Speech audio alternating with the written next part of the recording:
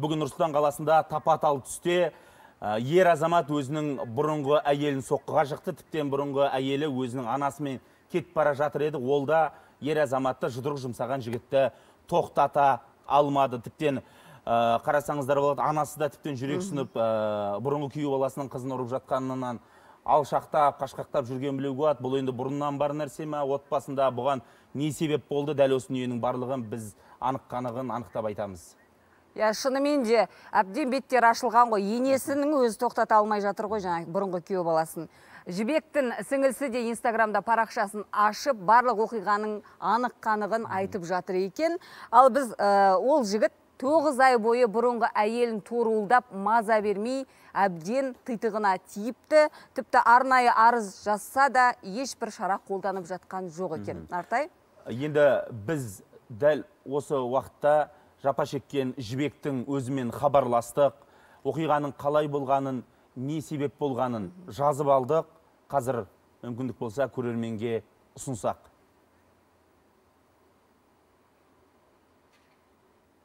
Потом начал э, выяснять отношения, толкать мою маму, меня хватать. А, потом просто избил меня, набросился кулаками, ногами. И просто ушел. У него не было постоянной работы, он игрок. На протяжении 10 месяцев он меня уже караулит, а, приходит на работу, при всех устраивает скандал, домой приходит. Я уже сколько писала заявлений, вызывала 102, м, писала участковым заявления, просила их, просто говорила, что он угроза для моей жизни, предпримите что-нибудь завтра, если со мной случится. Я говорила, что это на вашей ответственности. Но они на это никак не реагировали, говорили, что это семейка, семейка, и все. Защитное предписание было, э, бывший супруг его нарушал постоянно. Уже у нас прошло три суда по, защитному, по нарушению защитного предписания. Э, Там признают его виновным, но просто дают предупреждение и все. Егер Нартай. енді шынымен де құқық қорғау орындарына арызданса және олар ешқандай шара қолданбаған болса тоқтату үшін ескертуден басқа бұл өте қиын жағдай екен. Оны, оның анық қанығын да алдағы уақытта білетін боламыз осы Иә. студияда. Нартай қазір ә, біз осы күдіктіні жеке танитын әділ балтабаевты студиямызға шақырып біз иә бір мектепте оқыған екен. Істің ақ қарасын сұрайықшы. Кім ол жігіт? Әділ қош келдіңіз. Келіңіз студияға. Сәлеметсіз келіңіз төрлетіңіз хабарласыңыз әділ енді сізден қазір істің мән жайын толықтай білетін боламыз сұрайтын боламыз. Өйткені бүгін бұл видео таралғаннан кейін білесіз түрлі нұсқалар айтылып жатыр. Осы тұрғыда әңгімені бастамас бұрын жібектің өзінен осы төбелестің бұрынғы күйеуімен не үшін болғанын не үшін соққыға жығылғанын да сұрап едік. Эксклюзивті сұхбатта соны тыңдап жіберейікші.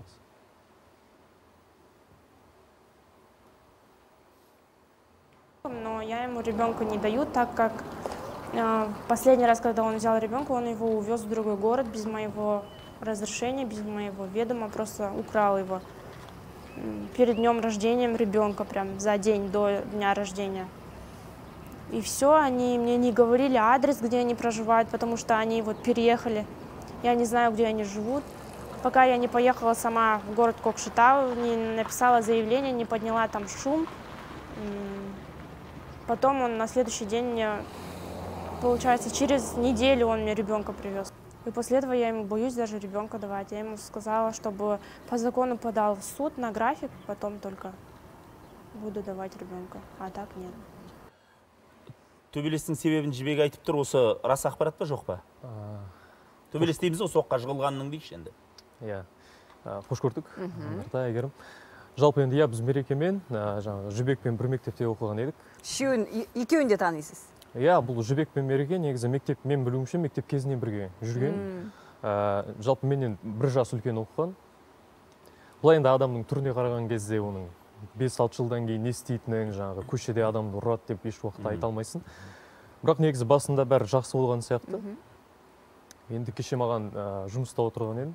Кешке инстаграмды ашсам жаңағы посттың астында мен танитын ортақ таныстарымыз белгілеп жатыр екен мені. Иә қарасам иә мереке дейді енді өте қатты таң қалдым. Енді танымайтын адам болғанда да өте қатты таң қаласың да бірақ сенің бірге мектепте оқыған мектепте қандай еді ол? Агрессор ма еді? Атаман ба еді? Кім еді жалпы? Мінезі қандай жігіт еді? Жоқ мектепте негізі жаңағы атышулы жаңағы мереке деген болмаған ол кәдімгідей бізбен бірге жүретін бала жаңағы қоңырауға шыққан кезде коридорда балалармен араласып жаңағы кәдімгідей бір Қиғылығы болған жоқ. ондай ондай қатты жаңағы сауал бала үшін иә. осы жағдайдың болғаны рас па жоқ па? Ә, негізі сүй деп жатыр иә енді кеше мен сенің мүмкіндігің бар ғой хабарласатын олармен Иә. танисың дейді Там- таныстары иә. бар. Ә, кеше негізі маған да ортақ таныстарымыз жазған. Ә, иә осындай жағдай болып жатыр әділ.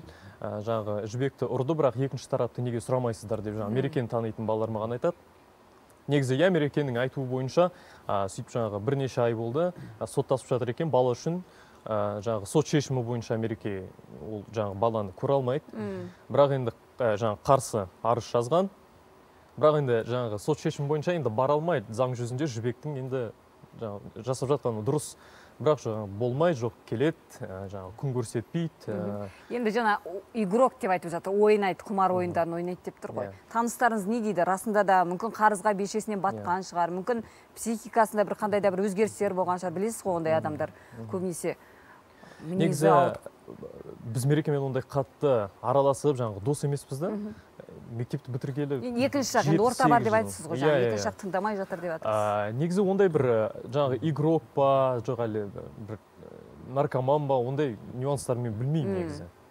Бірақ өмірлерінде проблемалар бар. Енді әрине иә өмір жақсы болса ондай мына сауалды міндетті түрде қоя кетейік. Бізде де жаңа бір жақты болып қалмасын қысқа нұсқа. Жібек қандай еді мектепте? Иә. А, жібекті шын айтайын мен танымайтынмын араласып мүлде жаңағы тек сырттай ғана тек сырттай ғана иә түрін танимын. Ә, мерекені енді былай сөйлесіп амандасып жүретінбіз жібекпен қатты ара- ара- араласпайтынмын. Бірақ екеуі де ә, жаңағы мектеп кезінде дұрыс үлгілі оқушы еді дейсің иә ғой? иә. Кеше мен неге э, жаңағы сторисқа салған кезде жаңағы публикацияны ә, көбісі жазады қалай бұл жібек пен мереке? Жақсы жүрген еді ғой мектеп кезінде сондай күшті пара болған деп енді. Әдетте әдемі басталады ғой мұндай оқиғалар. Иә енді соны айтып тұрмын ғой адамның түріне қараған кезде сен жеті сегіз жылдан кейін қандай болатынын білмейсің. Мүмкін бір жаңағы оның сондай бір психологиялық деңгейге психикалық деңгейге жеткізген бір әрекеттер жаңағы себептер болған шығар. Оны біле біле енді көкшетаулықтар сіздер көкшетаудансыздар ғой Иә, иә? иә, иә. айтып жатқан жоқ па әйелдің өзінен бар? Жоқ ондай. Ешкім ондай еш Ол- нәрсе Айыптау жоқ. айыптау жоқ керісінше неге жаңағы полицияға да көп негізі сұрақтар неге бізде де жаңа жібектің сөзінен кейін құқық қорғау орындарына сұрағымыз өте көп. Және соңғы жеткен ақпараттар бойынша мереке яки сіздің ә, сыныптасыңыз бір мектепте оқыған иә азамат. иә иә. ә, қамауға алыныпты дегенде ақпарат шықты. Бұл қаншалықты рас. Расымен де құқық қорғаушылар бәрін біле тұра әрекет жасамады ма? ішкі істер министрлігінің өкілін де біз арнайы шақырттық ә, оның да жауабын білеміз. Қазір шағын ғана жарнама құрметті көрермен экраннан алыстамаңыздар. Құрметті көрермен біз жаңа қоғамды дүр сілкіндірген тақырыптың жай жапсарын анықтаймыз. Жаңа полицияларға да көп сұрақтың бар екенін айтып жатырмыз осы редакцияда. Ендеше дәл қазір біз студияға нұрсұлтан қалалық полиция департаментінің аға инспекторы гүлмира шырахметованы шақырамыз. Және заңгер айшат уәлиолла да бізде бүгін қонақта. Қош келдіңіздер. Сәлеметсіздер қош келіп жатсыздар мың бір түннің студиясына гүлмира ханым. Бізде сұрақ көп сіздерге. Өте көп. Расымен де сіздер тоғыз ай бойы ә, бұрынғы жұбайы торуылдап жүрген әйелді қорғау үшін түк те істемедіңіздер ма? Тоғыз ай бойы емес ол осы бізге жеткен мәлімет Иә, айтылды. әрине енді ол қоғамдық резонанс туғызу үшін қоғамда жаңағы ә, дүрбелең туғызу үшін осындай ақпаратқа ә, сүйенген шығар. Бірақ дегенмен де біздің зерттеуіміз бойынша биылғы жылы төрт рет жүзек каналына хабарласқан. Ә, нақты ә, күндерін айтатын болсам ең бірінші күні 12 ақпан күні төртінші наурыз күні 16 наурыз сосын 24 наурыз. Осы жылы екен ғой иә осы жылы төрт рет. Бұның барлығы жаңа ә, сөзге тиек болып отырған ажырасу процесіне байланысты. Көбінесе отбасындағы ері мен зайыбы ажырасқан кезде ә, баланы ажырасудың немесе жаңағы кектің тағы да басқа бір нәрсенің құралы ретінде пайдаланады. Ал иә заң бойынша балаға ата ананың құқығы бірдей екенін ұмытып кетеді. Көбінесе осы біз тәжірибеде кездесетін проблемалардың бірі әйел адам ажырасқаннан кейін бала тек менікі деп қана санайды. Бірақ оның табиғи табиғаттың берген құқығы бар оның әкесіне де толық құқығы бар. Сондықтан бұл жерде ә, осы сіздердің эфирлеріңізді пайдаланып енді миллиондық аудиторияларыңыз бар ғой. Ажырасу кезінде бізде нұрсұлтан қаласында пилоттық жоба бар. Отбасылық сот деген. Сол отбасылық сотқа жүгінсе адамдар ә, бір терезе әдісімен бірнеше проблеманың ә, шешуін табуға мүмкіндіктері бар. Яғни ажырасу кезіндегі жаңағы ә, баланың тұрғылықты жері бала кіммен тұрады ә, мүлікті бөлу тағысын тағы сол сияқтылардың барлығын бір мемлекеттік баж төлеу арқылы ә, бүкіл проблемасын шешуге болады. А бізде былай ажырасады да болды қалған нәрселер шешілмейді.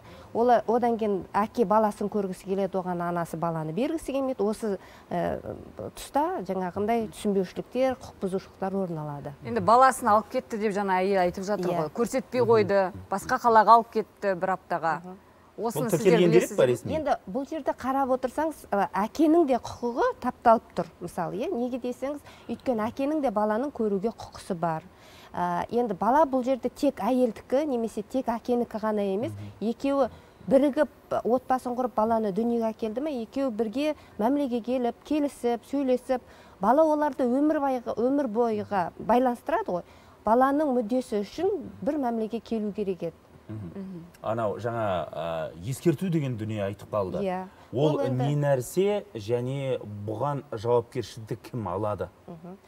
Қазақстан республикасының тұрмыстық зорлық зомбылық профилактикасының 20 бабына сәйкес қорғау нұсқамасы шығарылады. Сол қорғау нұсқамасының талаптарын бұзған жағдайда қазақстан республикасы әкімшілік құқық бұзушылық кодекстің 461 бабы бойынша қорғау нұсқамаларын бұзу ә, бабы бойынша жауапкершілікке тар- тартылады.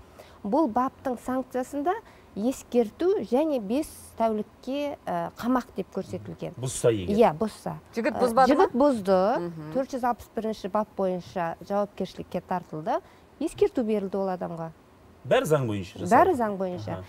Қоғам халық жалпы өзі былай ойлайды. «Ә, неге полиция былай істемейді? Ә, неге былай істемейді деп сырт көзге ол жаңағы тәртіп бұзып тұрған құқық бұзып тұрған болып көрінгенмен біз заң аясында қызмет атқарамыз. Заңда ол егер жазылмаса біздің іс- істеген әрекетіміз заңға қайшы болып бірақ табылады енді ғой. көшеде міне тапа тал түсте ұрып соғу деген иә ол ә, бұл ә, жайт бойынша ә, жаңағы мереке деген азамат ұсталды. Ертең таңертең ә, соттан өткіземіз. Материалдың- ә, материалдың толықтығы жиналды. Ә, бұл ә, қателеспесем адам денсаулығына қасақана залал келтіру болады иә бап? Ә, жоқ ә, бұл жерде тигізген залалға байланысты. Ол сот медициналық сараптаның нәтижесі бел- ә, мен шығады. Ә, бұл жерде егер денсаулыққа қасақана орташа ауырлықтағы немесе ауыр зиян келтіретін болса ол қылмыстық жауапкершілікті көздейді. Ал қасақана жеңіл зиян келтіретін болса ол әкімшілік. Онда жаңағы қамаққа ғана алынады. Ә, сот медициналық сараптаманың анықтамасы әлі сіздерде жоқ. Иә. бірақ біз ертең оны жаңа ұрып соғу бабы бойынша соттан өткіземіз. Заңгерден сұрайықшы жаңа ескерту деп жатырмыз. Ә, полиция департаментінің маманы енді расын айтып отыр. Заңда жоқ нәрсе болса біз қалай әрекет етеміз дейді осы тұрғыда. Заңда осындай азаматшаларды қорғайтын кезде солқылдақ емес па бізде? Ә, бізде де жалпылай өйткені сөзіне қосыламыз ертең бұл кісілер қамап тастаса тағы шулайды екінші тарап заңгер заңның ішінде тек қана әкімшілік жауапкершілік қарастырылған. Отбасыға жаңа байланысты бұрын ә, ескі қылмыстық кодексте болған еді. Қазір өзгертілгеннен кейін бұның көбінесе отбасыдағы жағдай жанжал бізге қатысы жоқ татуласыңдар қойыңдар деп сырттай ескертумен ғана кететін. Осы ескерту кері әсерін тигізіп жатқан жоқ па әсерін тигізіп жатыр. Өзім бұрында да осы салада жұмыс жасадым көбірек. Көп көрдім бұндай оқиғаларды. Біздің ә, кейде өкініштісі өзіміздің қазақ келіншектерінің де ә, заңи тұрғыда сауатсыздығы да Иә. бар. Ар жазықты барады айқайласып кетеді қолыңа талон берді ма? Жоқ алған жоқпын.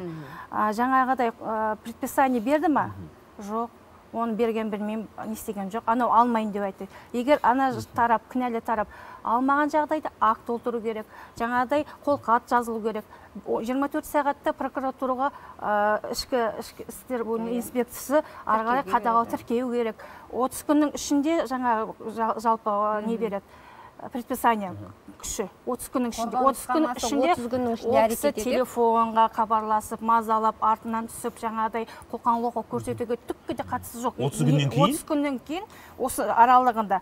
Егер ә, жаңа құқықтық сотпен тағы да қарайды тәртібі түзелді мазалаған жоқ десе онда ә, тағы да сот арқылы қысқартылады 30 күн, или ұзартылуы керек. 30 тәулік қорғау нұсқамасы берілген кезде отыз тәулік па отыз 30 отыз тәулік тәулік, 30 тәулік. Бір ай дейміз ғой жалпы. А, бұл 30 тәуліктің ішінде агрессормен жұмыс жасалу керек. Учаскелік полиция инспекторы ол кісімен жаңа профилактикалық жұмыстар жасайды. Иә бұл енді тежеуіш иә. фактор ретінде қолданылады. Әсер етеді иә ма бұл? әсер етеді әсер жақсы етеді. мына сіздердің енді ақпараттарыңыз енді халыққа жаңа айтып жатсыз ғой. Енді біздің азаматшаларға да азаматшаларға ғана емес азаматтарға да құқықтық сауаттылық керек жаңағыдай баланы алып кету деген Иә, болмайды. онда сотқа барып заңды түрде талап етуің керек мен баланы көруім керек деп. Дәл осы тұрғыда біздің телефонға тыным болмай жатыр. Қазір бір көрерменімізді қабылдайықшы кеңес берейік алло. Сәлеметсіз? Аха. саламатсыз ба? Айта қойыңыз. Алло, сөйлей қойыңыз. Алло, сәлеметсіз бе? Сәлеметсіз бе? Оразаларыңыз қабыл болсын. рахмет Біз Семей қаласынан сөйлесіп тұрмыз. Менің балам осы 10 жылдан асып кетіп айырылысқан Ақсуат ауданынан алғанбыз келінді. Сонда екі баламыз кетті. Жетім қылмаймыз деп неше рет бардық, құда мен құдағиға бермей қойды, көрсетпей қойды. Қашырып жібереді балаларды. Онан кейін ұлым онан кейін болмаған кейін бір келін алып қазір үш баламыз бар екінші әйелдік бірақ ана екі баладан басымызды тартпаймыз неше рет іздеп бардық барсақ та бізге көрсетпейді балаларды қашырып жібереді ал келін алматыда үйленіп алған қазір баласы бар ал ана балаларымызды көрсетпейді ақсуатқа бардық рахмет рахмет рахмет жауап қалай болады жалпы ерлі зайыптыларға сотқа жазса мына кесте керек кесте сотқа жазу керек кесте шығарып береді. Қай кезде? Аптаның соңғы күні ма или бір күні үйіне алып кету мүмкіндігі бола ма? Айына неше мәрте кездесу керек? Сағатына шейін қажет деп тұрса жаңағыдай сот арқылы шеш- шешім шығарып береді. Иә, иә ажырасқаннан кейін дауласпай ажырасу процесі кезінде бекітіп алуға бола ма бәрін? Соны сол жаңағы екі жағдайда солай болып тұр иә. ажырасқаннан кейін көрсетпегесін болды мынандай мәселе да мына жерде. Мысалы енді маған жекеме келетін хаттар көп. Әсіресе түннің бір ортасында неше түрлі видеолар келеді. Күйеулерінен таяқ жеп жатқан әйелдер. Көбіне неге заңға жүгінбейсің неге полиция шақырмайсың десең былай деп айтады. Ә, біріншіден мен күйеуімнен қорқамын. Ол иә. баламды тартып алады мені өлтіріп тастауы мүмкін. Және ер азаматтардың көбі соның ішінде сіздердің де әріптестеріңіз бар. Көзге көрінбейтін бүйректен дейді мысалы мынау ә, несі көгеріп қалмайтындай жерлерден ұрып соғуды білет қоқан лоққы көрсетуді білет күш көрсетуді білет шаштан жұлады дейді. Мысалы оны сіздер дәлелдей алмайсыздар ғой иә? Осындай нәрсе қорқып өмір сүреді да осы- көбісі арызданбайды. Денеге түссе енді анықтау жоқ болады шығар тұрмыстық зорлық зомбылықтың жалпыдай біздердегі тек ерлі зайыптылар арасындағы жаңағы денеге жарақат салу және де психолог тұрғысын түрін ғана білеміз. Жалпы оның төрт түрі бар. Жаңа денеге жарақат салу психологиялық тұрғыда экономикалық тұрғыда және де сексуалды тұрғыда. Иә. біздер ол аяғын ашып қарамаймыз де жаңа көбінесе қазақи менталитет ұят болады айта алмаймыз қорқамыз ә, сенім жоқ. Және де жаңағыдай баптың өзі де қылмыстық жауап қатаңдық болса бізде заң әлсіз иә? Мына нәрсені қоя салады ескертумен жаңағыдай қамаумен иә жаңағы шақырады мына полицияны сауалды қоя кетейік енді жаңа кейіпкеріміз айтып қалды ғой жібек. Бұған дейін де арызданғанмын дейді тіпті. «Ей, отбасылық мәселе ғой деп тәртіп Көбінесе сақшылары сол қабылдаудан иә. енді біз дәлеліміз бар бірақ нәрсе журналист болған соң соны айтайық.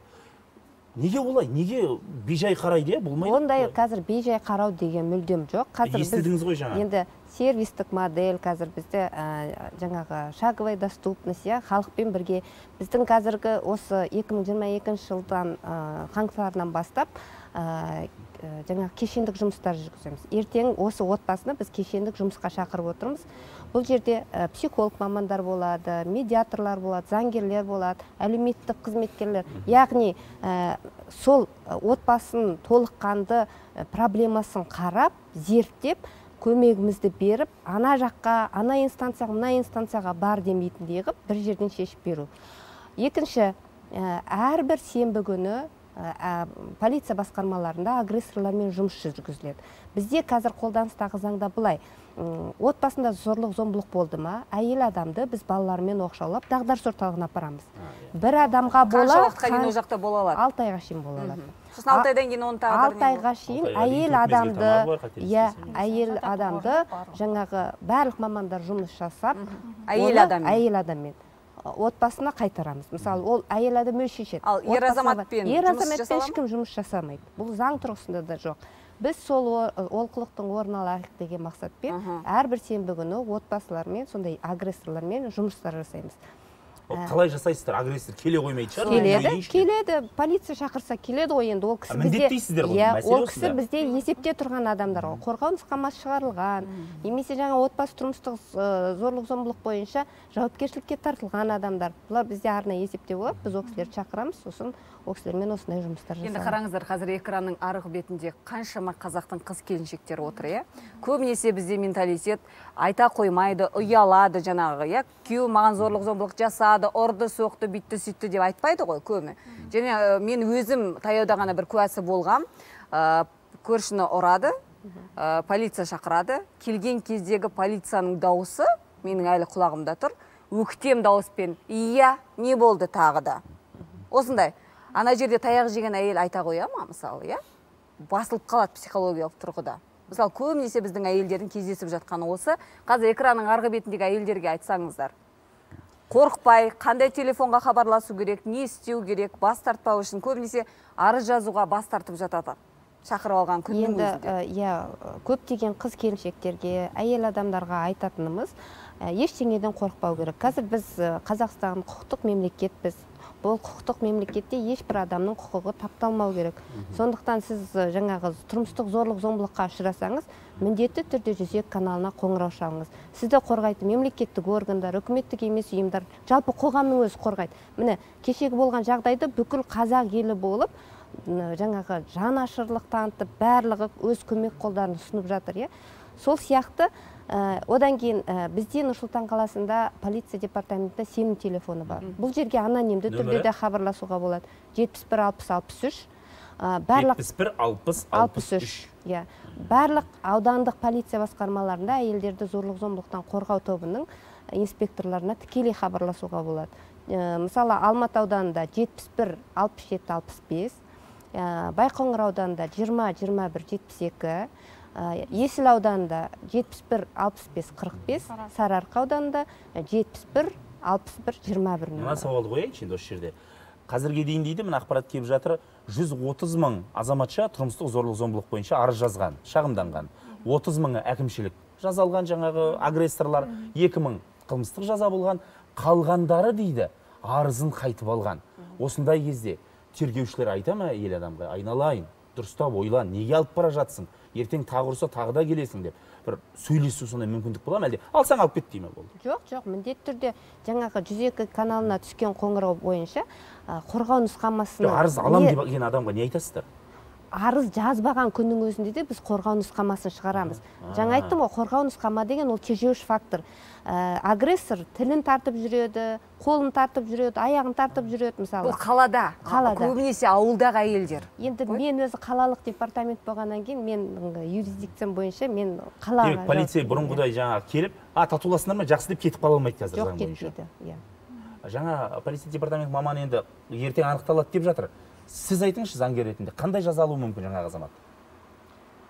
Жаңа әкімшілік кодекс бойынша қарастырылған ең төменгі жаза ең жоғарғы жаза? Ор- ұрыс соғу бабы бойынша он тәулікке шейін қамауға алынады. Қамау ғой сол ғана болды. Сол ғана. Сол жерде мен қосып кетейін. Айыппұл ештеңе болмасаңыз, иә. бұл жердегі біздің басты қаралып жатқан сұрақ жағдай болып қойғаннан кейін біз қазір не қыла аламыз оны не істей аламыз жаңағы жұмысты қалай жасай аламыз. Бірақ бізде профилактика жағынан иә алдын алу. психологиялық жаңағы агрессорда қорқу болу керек та ол үшін жаза- жазаны қатаңдату керек менің ойымша. Қателеспесем өткен жылдың қарашасында президенттің тура жаңағы бұйрығы Иә, бар иә. иә. барып қозғала жаңағы, бастады. бұрындары вообще мүлдем қарамайтын зомбылыққа қатысты міндетті түрде жазаны президент айту керек. Иә. иә оны қатаңда оның өзінде де жарты жыл өтті әлі де жаңағы заң жобасы бір мәселеге назар аударту үшін міндетті түрде біреу қайтыс болу керек. Міндетті түрде әлеуметтік желіде я болмаса телеарналарда осылай шулау керек. Жолда кетіп бара жатып бұрынғы былтырлары. 2018-де есімде осы астанада орталыққа жатады ана әйел арыз жазып соны бұл бұрынғы күйеуі бағып жүріп жұмысқа кетіп жатқанда тірілей өртеп жіберді Иә. ғой болды ғой. Кешегі батыс қазақстан облысында да өкінішті жағдай болды екі қыздай кішкентай қызы мен әйелін бұл жерде өртеп жіберді. шығатын жаңа қорытынды біз жаңа да айтып жатырмыз. Бұл заңды қатайту сол ғана иә. қылмыстың өтеу жаза дейміз. Бірақ тіптен жазадан да қорықпайтын кейбір агрессорлар оларға басқаша да жұмыс жасау керек, Керек, тек иә. салдарымен емес себебімен Қоғамда. күресу керек. Біз сіздерге алғыс айтамыз ақпарат бергендеріңіз үшін.